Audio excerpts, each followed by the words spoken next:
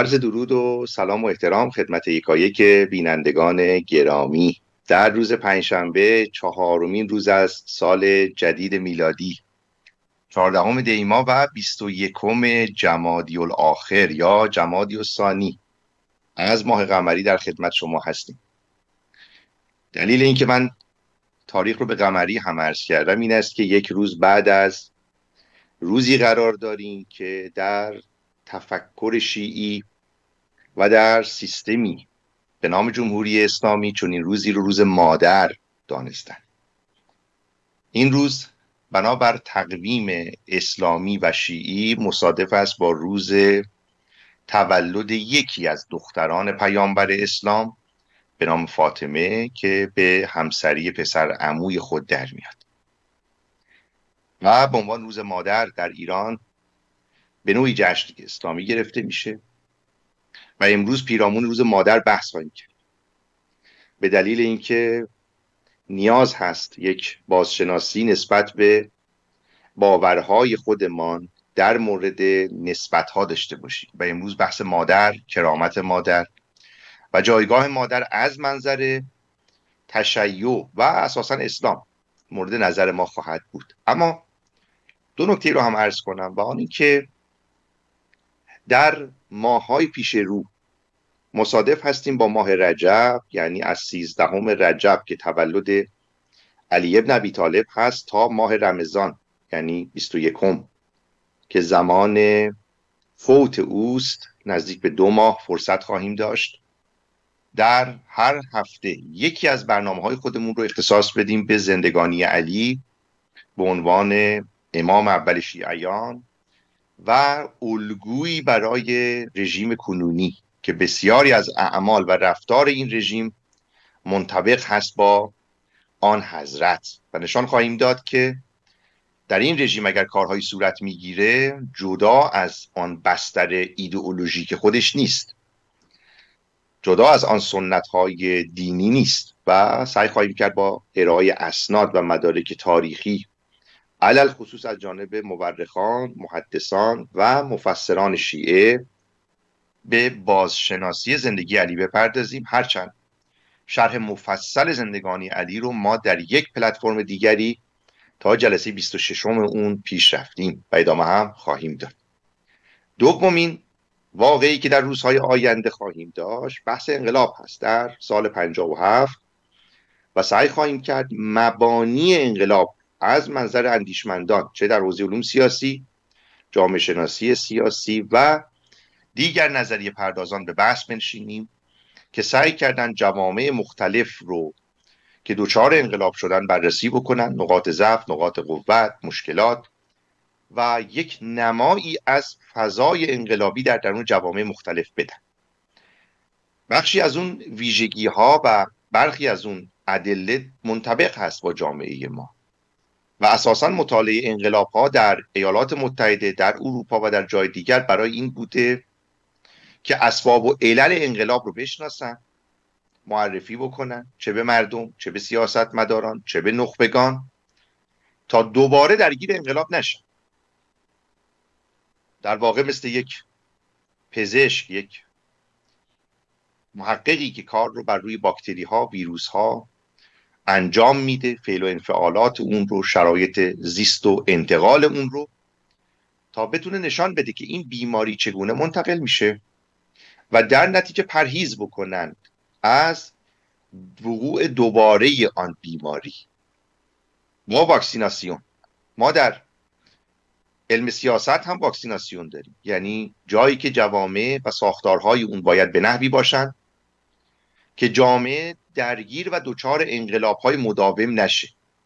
اگر در درون جامعه شما می‌بینید که دائما انقلاب داره رخ میده این به معنای این است که درست ساختار معیوبی برداشته میشه اما ساختار مناسب جایگزین نمیشه. و لذا باز هم علت بر جا هست هرچند معلول تغییر کرد. بنابراین تا زمانی که علل شناخته و رفت نشه ما درگیر این مسائل خواهیم ضروری است که ما بتونیم در این یکی دو ماه به این مسائل بپردازیم. حالا امیدوارم در این یک هفته دو هفته ای که تا آن روزها فاصله هست ما بتونیم بحث سیاستمدار حرفه‌ای و سیاستمدار تفننی رو جمع کنیم و وارد بحث جدید بشیم. اما برگردیم به بحث امروزمون و آن هم مسئله روز مادر هست. خب می‌دانید روز مادر در درون یک جامعه شیعی برگرفته از روز تولد یکی از دختران پیامبر اسلام هست به نام فاطمه که دختر کوچک پیامبر اسلام هم محسوب شده. هرچند خب اقوال و اختلاف آرایی هم هست مبنی بر اینکه آیا او واقعا دختر پیامبر هست یا نیست اما حداقل شواهد و قرائن تاریخی از نیروهای موافق و مخالف نشان می‌دهد که کسی دخلی به این مسئله و نقضی بر اون نداشته جرحی وارد نکرده بر این مسئله که او دختر محمد نیست و ما هم میپذیریم حداقل شواهد و قرائن رو چون چیزی رو تغییر نمید. اما محمد فقط همین دختر رو نداشته. دختران دیگری هم داشته که فعلا بحث تاریخی شما امروز نخواهیم داشت. اما نکته که بسیار اهمیت داره این که ما وقتی در درون یک تفکر روز مادر در نظر می‌گیریم خب یک هدفی رو داریم. یه ایدئولوژی که سعی می‌کنه روزها رو نامگذاری بکنه. مثلا روز کارگر. روز پدر یا جشنها و روزهای ملی. خب یک هدفی است مقصودی است که برای زنده نگه داشتن یا الگو برداری یا پاسداشت برخی از این ارزش هاست اما گاهی اگر نگاه بکنیم می‌بینیم که شاید این روزها برای یک زمانی یا برای یک نقش ها و ارزش های مطلوب بوده. اما برای امروز ما دیگه مطلوب نیست. یکی از اونها همین مادری است که در درون تفکر اسلامی وجود داره. یعنی جایی که باید واقعا برای پاسداشت مقام مادر باشه شما می‌بینید در درون این ایدئولوژی مشکلات عدیده هست. حالا بحث امروز ما هم همین خواهد بود. خب نخست این که مادر در درون خانواده فهم میشه. یعنی ما وقتی از لفظ مادر استفاده می‌کنیم مقصود بانویی است که فرزندی داره و از نسبت او و فرزند مادر متولد میشه. هرچند به خاطر بار احساسی این کلمات بعضا در مواضعی غیر موضوع به کار رفتن. مثلا به یک انسانی که خدماتی به مثلا علمی انجام داده میگن پدر علم تاریخ یا مادر ملت یا پدر ملت. اینها به نوعی تمثیلی استعاری است و سعی میشه کمک بگیرن از آن بار عاطفی احساسی که او اگر به عنوان پدر ملت نامیده میشه یعنی نقش غیر قابل انکاری داشته در تولد این مردم حالا در دوران مختلف یا در مورد علم. کسی که پدر علم تاریخ هست سعی میشه او رو به عنوان نیا یا آن مورخ برجسته ای ذکر بکنن که این علم تاریخ از هنر او از فن او از دانش و معرفت او ایجاد شد. ما برگردیم به اصل داستان با اینکه در درون هر ایدئولوژی به خصوص ایدئولوژی هایی که نگاه توتالیتر دارن نگاه فراگیر دارن برای هر ساختاری نقش ها و ارزش ها تعریف شده باید ها و نباید ها تعریف شده. نهاد خانواده یکی از اونهاست. در اسلام برای نهاد خانواده یه ویژگی های خاصی تعریف شده. که ممکنه در یک ایدئولوژی دیگر خانواده یه معنی دیگری داشته باشه نقش دیگری داشته باشه. کارایی دیگری داشته باشه. در درون برخی از اقوام شما می‌بینید نقش مادر خیلی برجسته تر از پدر. پدر حق برخی از امور در درون خانه رو نداره. وظایف خانه جور دیگری تقسیم میشه. خانواده های سنتی خانواده های امروزی یا اون خانواده های تک و دیگر موارد. اما اسلام به مسابه یک ایدئولوژی یه گفتمان یه بسته فکری و عملی سعی کرده بر نهاد خانواده نظارت بکنه. وظایفی رو برای افراد تعیین کرده. این وظایف برای پدر یه مسئولیت داره برای مادر یک مسئولیت داره برای فرزندان مسئولیت های مختلفی داره و البته خب حقوق مختلفی رو هم به اونها اعطا کرد. مشکل در جایی است که این نهاد از دریچه یک تفکری بیرون میاد که این تفکر در درون یک ساختار یا یک بستری شکل گرفته که اساسا مرد سالاره. یعنی وقتی می‌خواد نهاد خانواده رو تعریف کنه اون رو پیرامون مرد یا پدر تعریف می‌کنه. در کنار این با ارزش های امروزی مطابقت نداره. با نگاه امروزی مطابقت نداره. زن خانواده به عنوان مادر در درون یک سیستمی تعریف شده. که جایگاه او اساسا همسری مرد نیست. واژه همسر به معنای این است که دو نفر در کنار هم هستند. حالا نه اینکه فقط بر سر بالین یکسان هستند بلکه در حقوق در مسائل مختلف هم باید در کنار همدیگه در یک رده قرار بگیرن اما می‌خوایم نگاه بکنیم و ببینیم که آیا واقعا اسلام چون این ویژگی هایی رو به رسمیت شناخته یا نه. وقتی در درون نهاد خانواده اسلامی نگاه می‌کنیم با توجه به خواستگاه و بسترش از همان ابتدا تبعیضهایی رو می‌بینیم. خب شاید عادی به نظر برسه که بله خب در جوامع مختلف اینطوری بوده.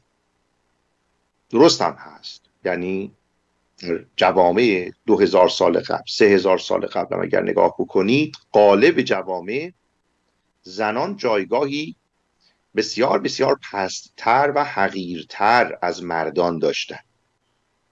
حتی در درون یونان باستان با آن اوغلا و آن عازم فکری هم شما می‌بینید که زنان جایگاه برجسته ای ندارن. حتی افرادی مثل ارسطو و افلاتون با آن ذهنیت متعقلان و استدلالی هم برای زنان شن و منزلتی قائل نبودن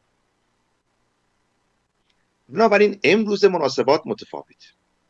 اما مشکل دیگری که اسلام داره و بسیار خطرناکه اثبات بر روی همان مواضع گذشته است یعنی اونها به دنبال این هستند که تمام مسائلی که بعدها هم حادث میشه رو بر اساس آن مفاهیم و معلفه ها و مبانی گذشته به مخاطب ارائه بدن به چه معنی؟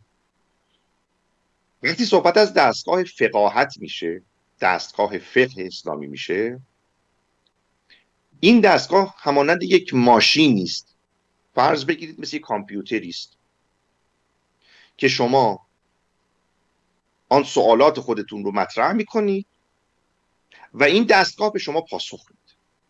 یعنی میگه این کار رو انجام بدید ندید خوبه بده. موافقیم موافق نیستیم.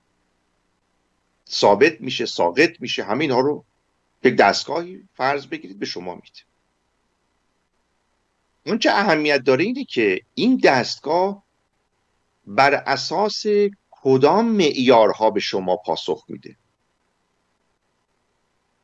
شما فرض کنید من امروز در مورد یک مسئله بین المللی سوالی دارم.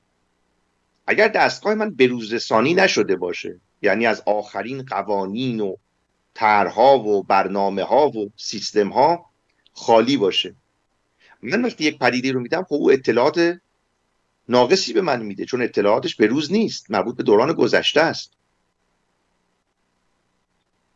ما اگر دستگاه من بروز باشه یا خودش رو بتونه به نوعی آپدیت کنه با مسائل روز خب شما می‌تونید به اون اطمینان بکنید که اگر من این سوال رو دارم و این رو در دستگاه خودم میدم حکمی که به من برمیگردونه دستوری که به من برمیگردونه منطبق هست. با آخرین اطلاعات و یافته های بشری با آخرین مسائل حقوقی با آن چیزی که امروز در جهان داره رخ اما فرض کنید این دستگاه پنجاه سال آپدیت نشده.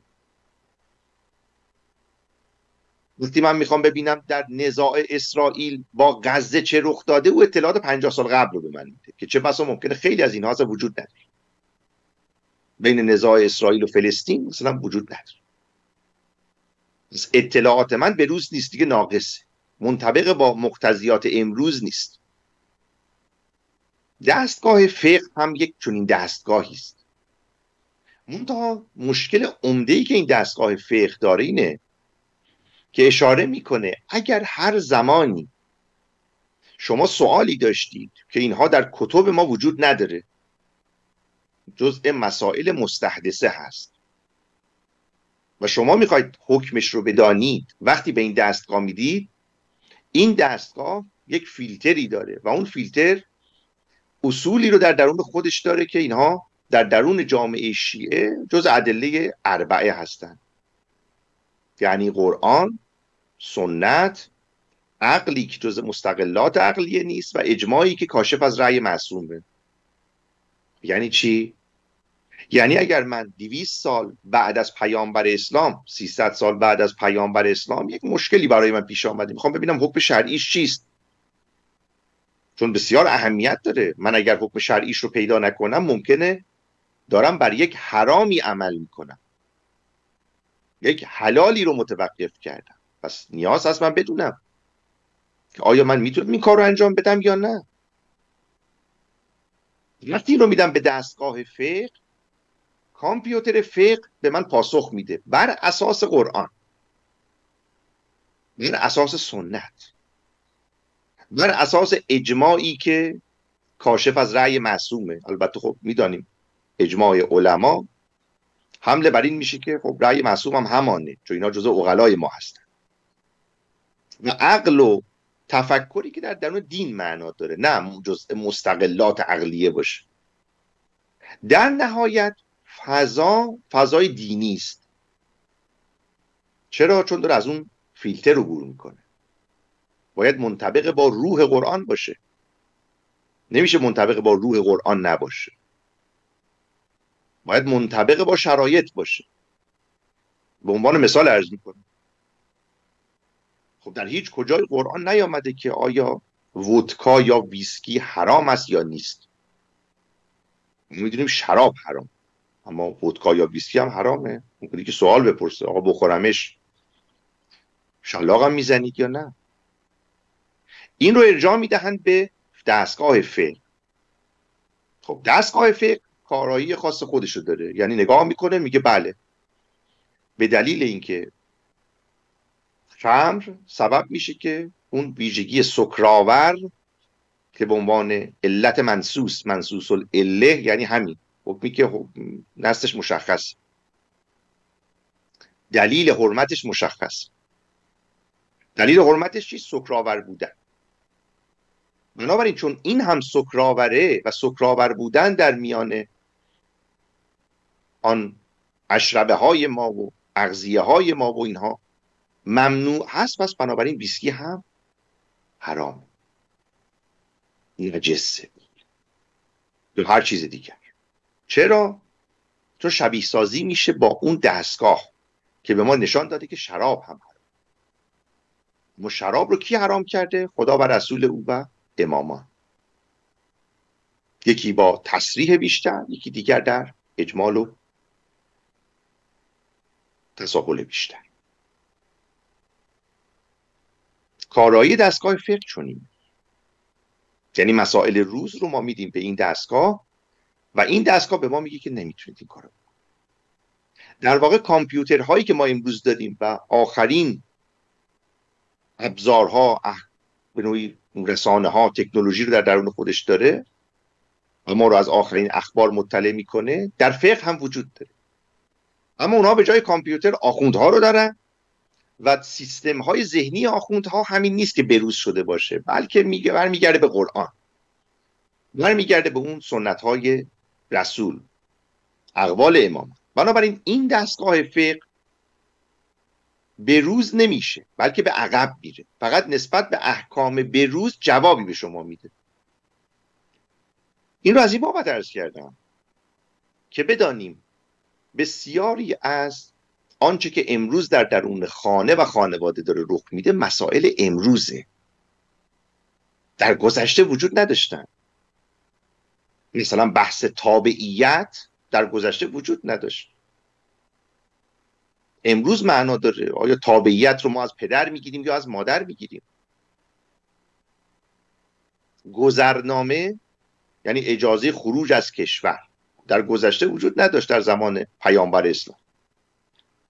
امروز هست که این حدود و سغور و مرزها وجود داره. شما برای ورود به یک سرزمین دیگه نیاز به یک جواز ورودی دارید. به عنوان مالا یا ویزا. برای خروج شما نیاز به یک سندی دارید به نام پاسپورت و خیلی چیزهای دیگه خب این گذشته وجود نداشت. امروز حکمش چیست؟ چه کسی باید اجازه خروج فرزند رو از کشور بده؟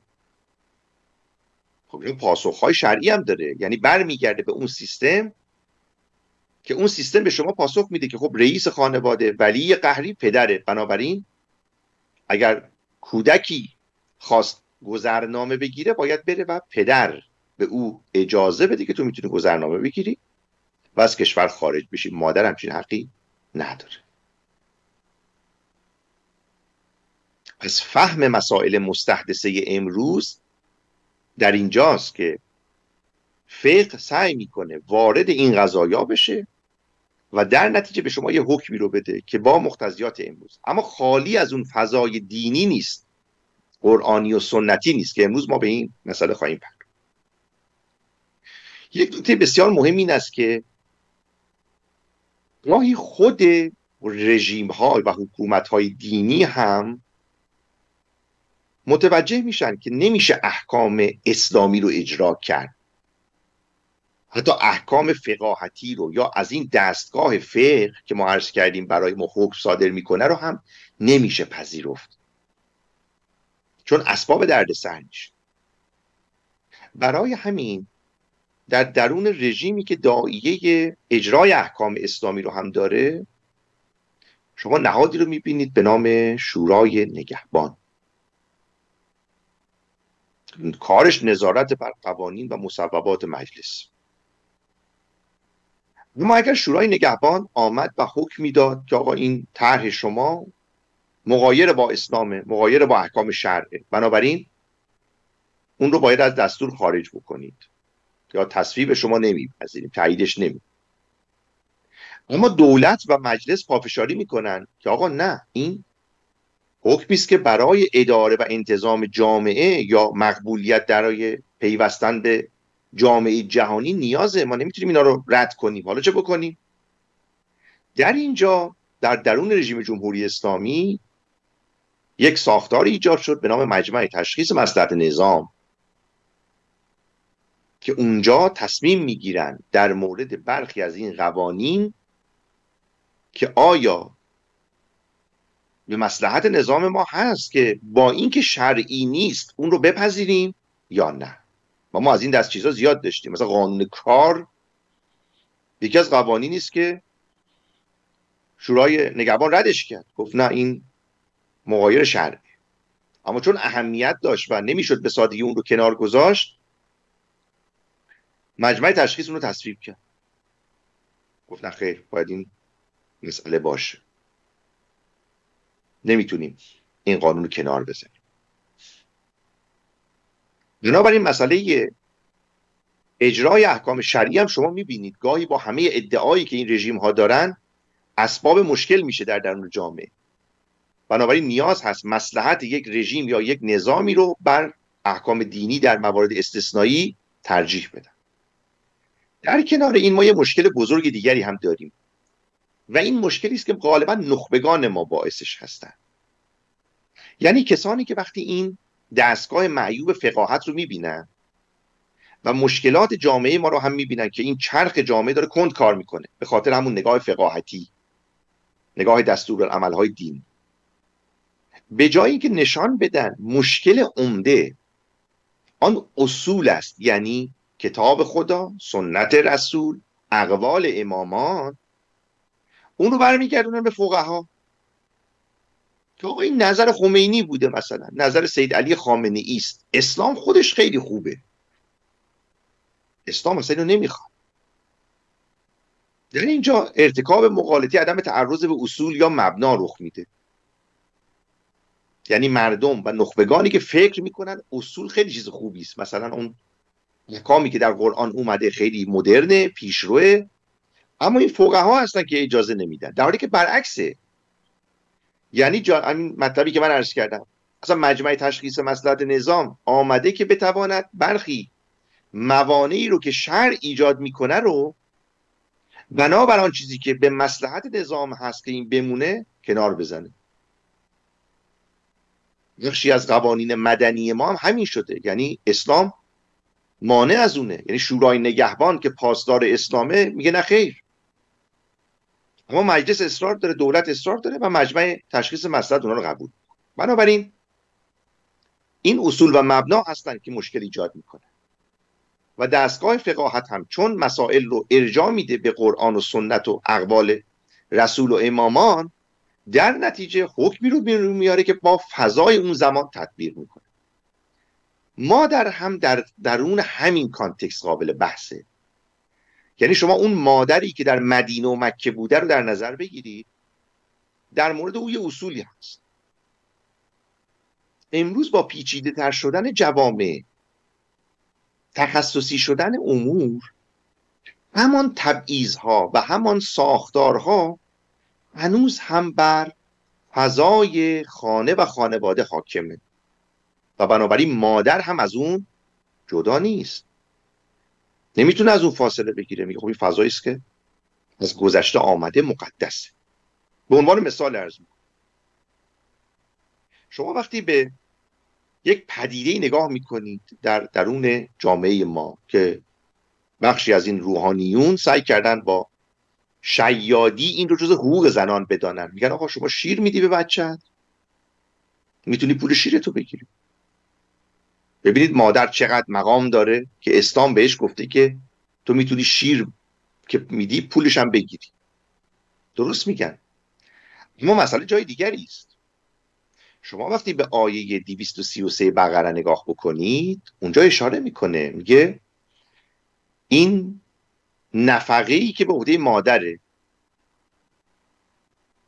برای این است که فرزند مال پدره یعنی برای اوست. و علا مولود له. یعنی برای کسیه که بچه مال اونه یعنی پدر. و مادر مثل کارگرش میمونه خدمتکارش میمونه. مثل چون که شما خدمتکاری استخدام کردید در ازای کار نگهداری بهش پول می‌دید. مثل قدیم در عربستان هم همین بود. دایه هایی بودن می آمدن به بچه ها شیر می‌دادن. بعضا می‌دید مادری مثلا شیر نداره یا داره. دایه هایی بودن. اینا از بچه ها نگهداری می‌کردن پولی می‌گرفتن. نچره شاخصشون اون حلیمه سعدی است که محمد رو از کودکی برد پیش خودش نگه میداشت. اینها مادر رو به اون شکل در نظر گرفتن. یعنی یه کارگری که برای مرد فرزند میاره.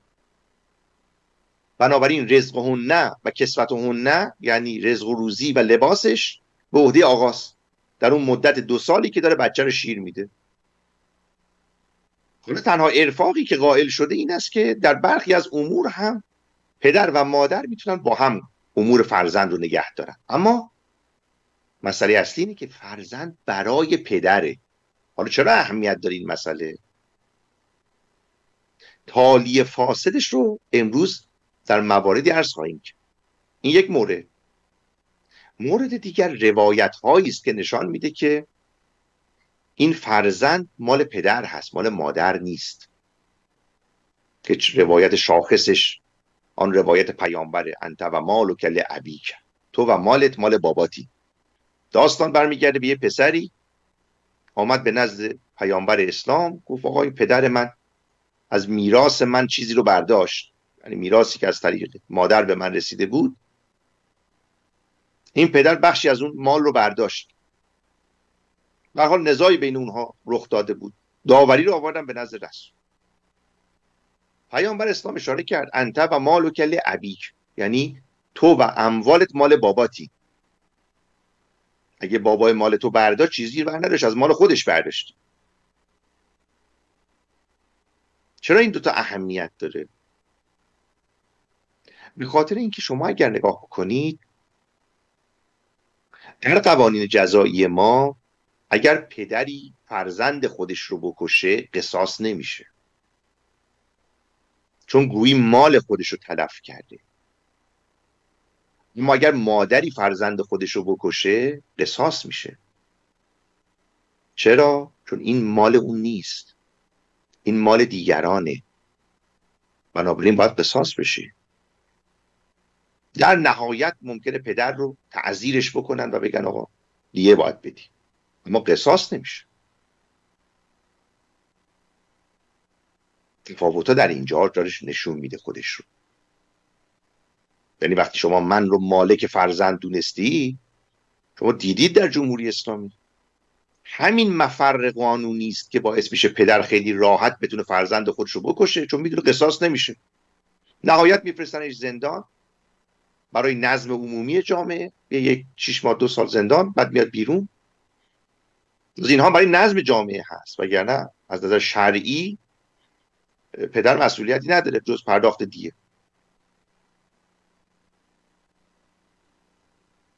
اما مادر وقتی فرزند خودش رو می‌کشه قصاص میشه. دومین مورد اینکه اگر پدری مال فرزندش رو بدزده به عنوان سرقت حدی مجازات نمیشه. اما اگه مادر اموال پسرش رو بدزده به عنوان سارق دستش بریده میشه.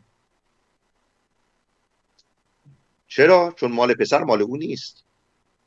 دزدی کرد از مال غیر. اما پدر اگر اون مال رو بدزده مال خودش چون پسرش و مالش هم همش مال خودشه. انت و مالو کل عبیک اینا رو میگم برای فهم بهتر قوانین جزایی اسلامی. ریشش رو دیدیم در آیه قرآن و روایات. حالا اینها مسائل مستحدث است که داره رخ پدر از فرزند خودش ربا بگیره یا نگیره ایرادی نداره. اما مادر نمی‌تونه این کارو بکنه. یا قصف قصف یعنی نسبت دادن زنا یا لوات به یک پدر اگر این کارو بکنه مجازاتش کمتر از مادره. چرا؟ چون حد قذف مسئله آبروس اعتباری است بقول چون آبروی پسر آبروی پدره. نه آبروی پسر آبروی مادر نیست. یه آدم غریبه است. از منظر قانونگذار اسلامی شارع اسلامی اینا غریبه شما نمی‌تونید به پسرتون این حرفا رو بزنید. اما پدر می‌تونید کارو باز از دل همین مسئله که در درون تعالیم اسلامی برخی شاخصه ها رو هم مثلا مختص پدر دونست. مثلا برگزیدن نام. این وظیفه پدر. ممکنه پدر از مادر هم مشورت بگیره در عرف ما. اما در درون جامعه اون نقش ها و ارزش های اسلامی شما می‌بینید که این نقش رو به پدر واگذار کرد. چون مال خودشه. می‌تونه بر روی فرزند خودش نام تربیت. این رو جز وظیفه پدران در نظر گرفت. یعنی یک پدر هست که به بچهش می‌تونه آموزش بده اون چیزی که خودش می‌خواد. حالا در اسلام سفارش شده مثلا به یاد دادن قرآن شنا تطهیر کردن نماز خواندن روزه گرفتن حتی کتک زدن فرزند برای اینکه نماز و روزه و اینا رو یاد بگیره. اما این وظیفه مادر داده نشد. حالا بیاید فرض کنید مثلا شما در جامعه کنونی هستید خب زنانی رو دارید اینا خودشون معلمن استاد دانشگاه. یعنی فرزندان مردم رو تربیت می‌کنن این مادران. اما می‌بینید اسلام اینا رو به رسمیت نمی‌شناسه. نمیگه هر کی صلاحیت داره. نمیگه هر کی شایستگی داره. میگه بوده پدر. پدر باید از حق خودش مثلا بگذره بده به مادر. بگه خانم شما بفرما. یا با هم تربیتش میکن ولی مقصودم اینه که شما به این فضای فکری نگاه بکنید. شعن مادر در کجا رعایت شده که آقا یه بخشی تربیتش با منه دیگه. برگزیدن نام خانوادگی نام خانوادگی پدره. یعنی پدر هستش که نام خانوادگی رو بر فرزند خودش تحمیل می‌کنه. باید کجا آمده مثلا؟ ما داریم در قرآن هم داریم. آیه پنج احزاب. خود او هم آبای فرزندان رو به نام پدرانشون بخونید. نمیگه به نام مادرانشون بخونید یا هر دو بخوانید نام پدرانشون بخونید تو هم در قانون مدنی و مادی 997 و آین نامه هاش اشاره شده که این پدر هست که نام خودش رو بر فرزند من اگه سلیمانی هم اسم فرزندم میشه سلیمان درون اسلام هم داستان هم در جاهایی هم حتی بوده که افرادی می آمدن به نزد پیامبر اسلام. گفتن آقا ما فلانی هستیم و نسبت خودشون به مادر می‌دادن و محمد بسیار عصبانی می‌شد گفت نه فرزند رو باید به نام پدران داد. ممکنه بعضی از دوستان بفرمایند که خب این در اون زمان بوده نه خیلی نبود. ما در اون زمان هم کسانی رو داشتیم که از اینکه اونها رو به مادران نسبت بدن افتخار هم می‌کردن. یعنی مادران شاخص داشتن. خودشون رو به مادرانشون نسبت می‌دادن. شما مثلا ابو جهلی که همین دوستان مسلمان ما میگن که نام اصلیش امر ابن هشام مخزومی است و او می‌گفتن ابن هنزلیه هنزلیه نام مادرش بود تاجرم که از زنان شاخص بود. وقتی بهش می‌گفت ابن هنزلیه افتخار می‌کرد. نوفل ابن خویلت یکی از بزرگانی بود که به او می‌گفت شیر قریش. بهش می‌گفت ابن ادبی. این نام مادرش رو بهش می‌دادن و تازه لذت هم میبود خود عمر ابن خطاب یعنی همین خلیفه اسلامی قبل از این داستان ها بهش میگه ابن هنتمه. تو نام مادرش هنتمه بود. یعنی مادرانی بودن که در همان جامعه عربی افتخار فرزندان بودن. حتی پادشاهان لخمی منظر ابن ماه و سما ماه و سما نام مادرش بود. در پادشاه بود. گفت من پسر مادرم هست. پدرش هم معلوم بود کی. اما در اسلام نه. ادعوهم لآبائه. به نام پدرانتون خودشون بخواد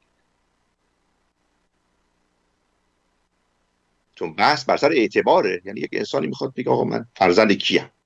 حالا ممکنه مادر برجسته تری داشته باشی دوست داشته باشی بگه آقا من فرزند فلانیه نام خانوادگی او باشه نه نمیشه. تابعیت یه مسئله است که من عرض کردم. تابعیت از جانب پدر بر فرزند داده میشه.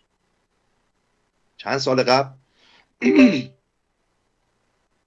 یک مشکلی پیش آمد برای که از این بانوان شاخص ایرانیان خانم مریم میرزاخانی. که از مفاخر زنان ما در دوران کنونی. خانم مریم میرزاخانی صاحب یک فرزندی بود. خب چون ظاهرا از شوهر خودش جدا شده بود خواست تابعیت خودش رو بده به فرزند.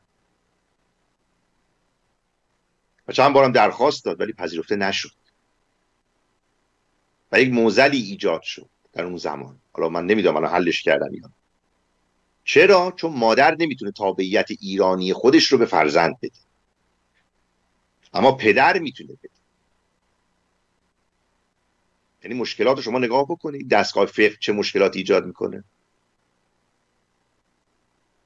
چون پدر اگر در درون یک جامعه یک تابعیتی داره اون رو می‌تونه منتقل کنه به فرزند خودش دختر یا پسر. اما مادر نمی‌تونه.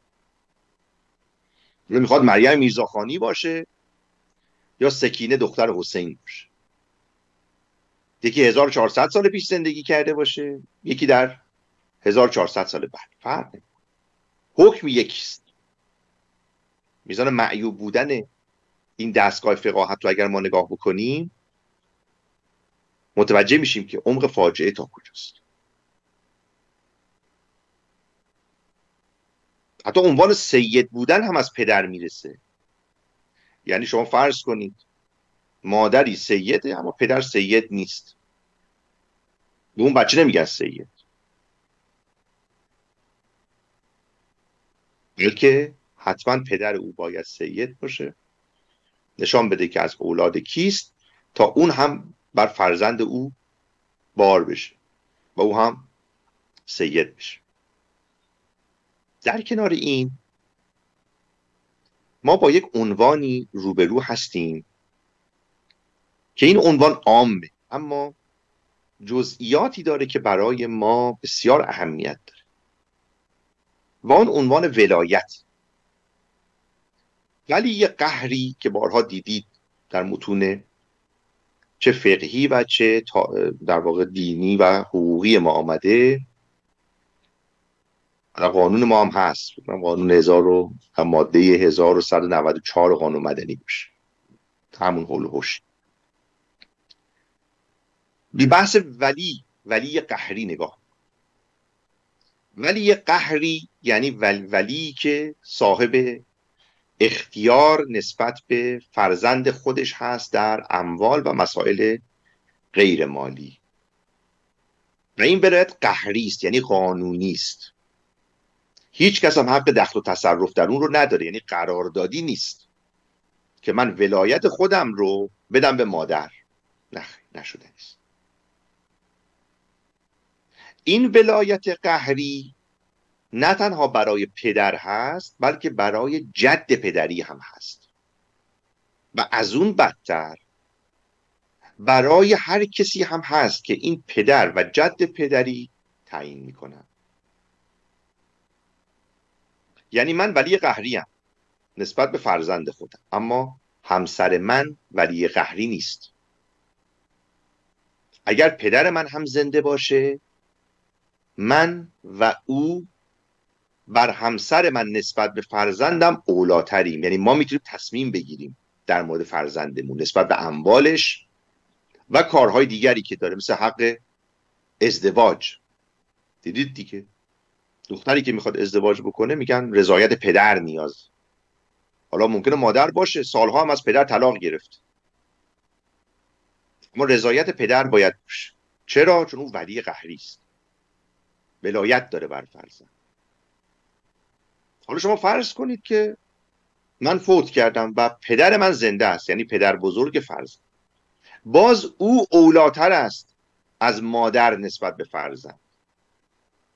یعنی مادری که فرزند رو به دنیا آورده به شکل مستقیم از پدر بزرگ اون فرزند حق کمتری داره. جز ولی محسوب نمیشه. و پدر بزرگی که ممکنه سالی یه بارم نوش رو نبینه حق داره که در مورد اموال او تصمیم بگیره اختیار ازدواج او رو داشته باشه و کارهایی که یک پدر داره او هم داشته باشه. اما مادر هم چنین حقی نداره. همین دلیلی که در دادگاه های بسیار زیادی شما می‌بینید این پرونده هایی که برای ازدواج دختر مادر بیچاره در به در دنبال کسب رضایت یا پدر یا پدر بزرگه. همینطور در مورد جرائم در مورد حوادث دیه و انواع اقسام اینها. از اون بدتر زمانی است که این پدر و جد پدری یعنی پدر بزرگ یک شخصی رو هم به عنوان وسیع تعیین کنن. این وسیع می‌تونه هر کسی باشه. از بقال سر کوچه بگیرید تا افراد دیگر. این شخص وسیع هم که تعیین میشه اختیاراتش از مادر بیشتر. چرا؟ چون منصوب پدره. یعنی شما فکر کنید عمق فاجعه تا کجاست. که من نمونه هایی ما داشتیم. یعنی افرادی که می‌خواستن برن جبهه به کسی وصیت کرده بودن.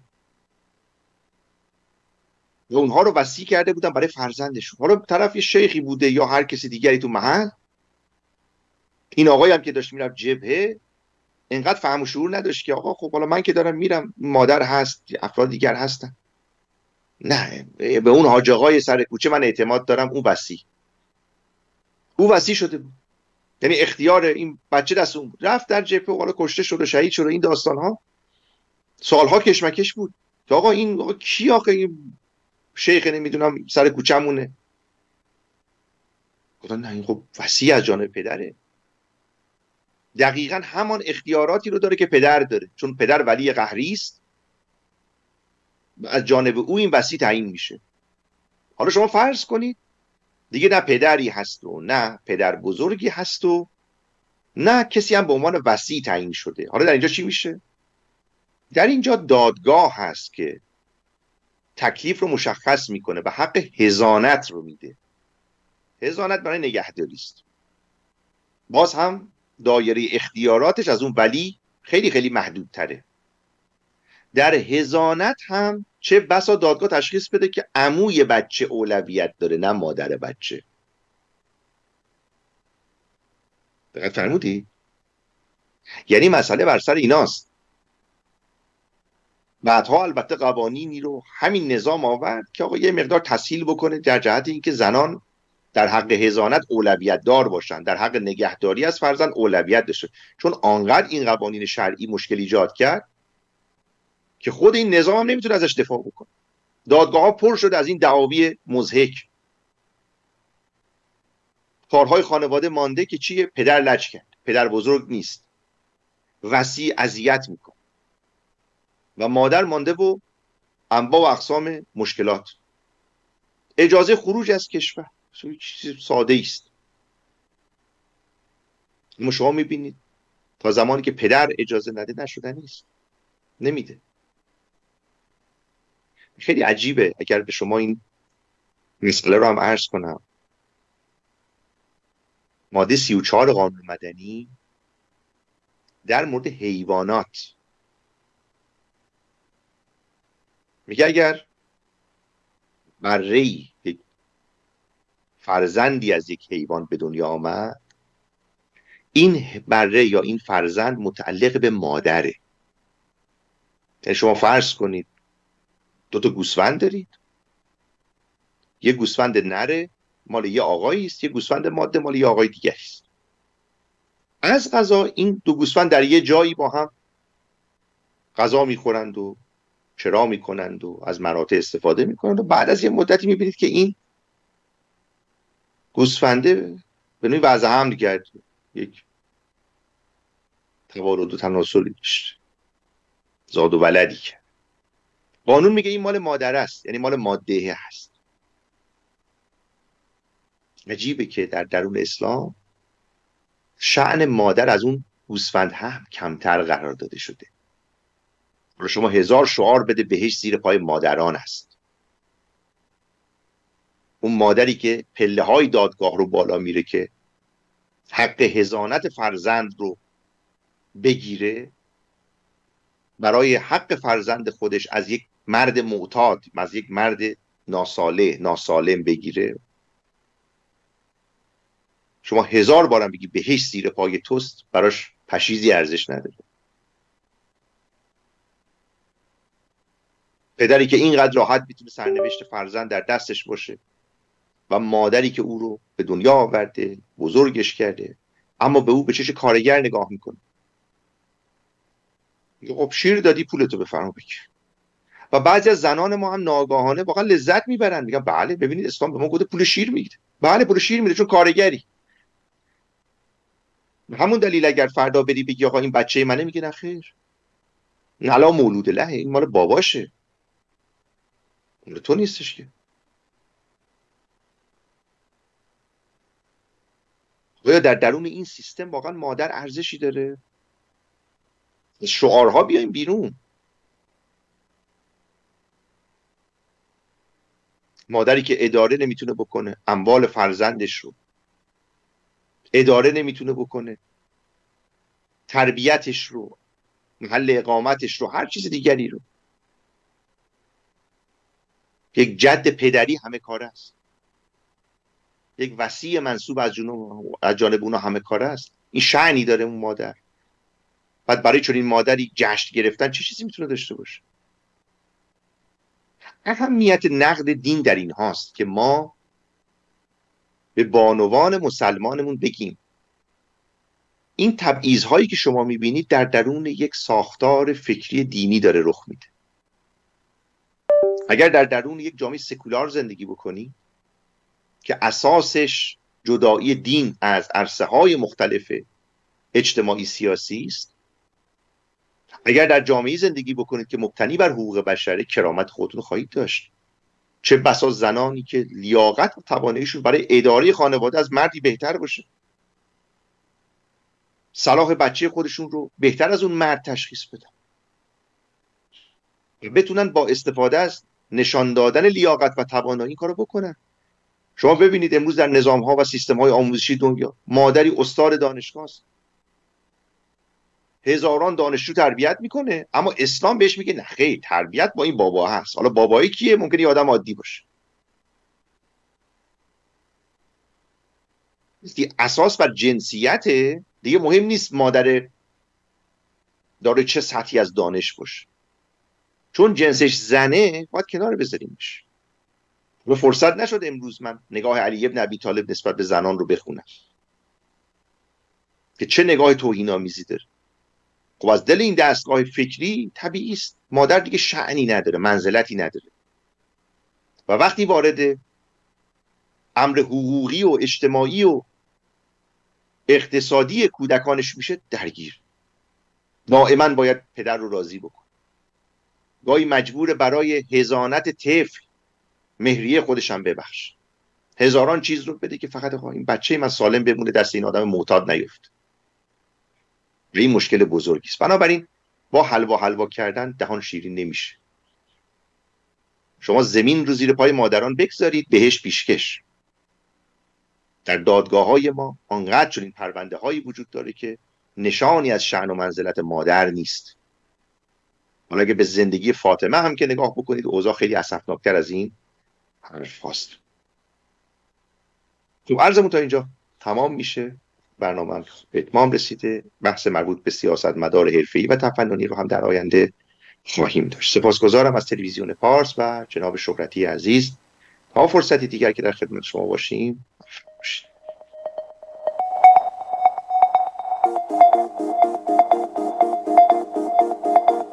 هیچ کدام از اینها به واسطه اون ذهن ما هست نمی‌تواند بنابراین ضرورت بازشناسی باور بسیار مهم همانطور که عرض کردم اندیشمندان مختلف در حوزه علل عقب یا